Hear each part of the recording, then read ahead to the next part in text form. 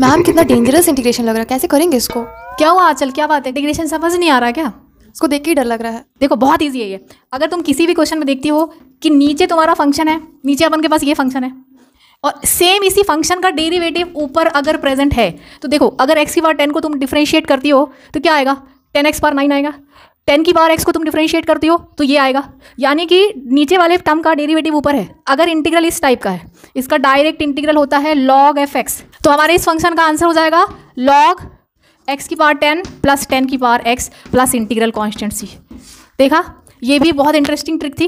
अच्छा अब बताओ Anchal integral ten x upon sec square का डायरेक्ट आंसर मुझे बताओ। टेन एक्स का डेरिवेटिव ऊपर है तो इसका हो जाएगा log ten x plus C देखा? बहुत इंटरेस्टिंग है ये।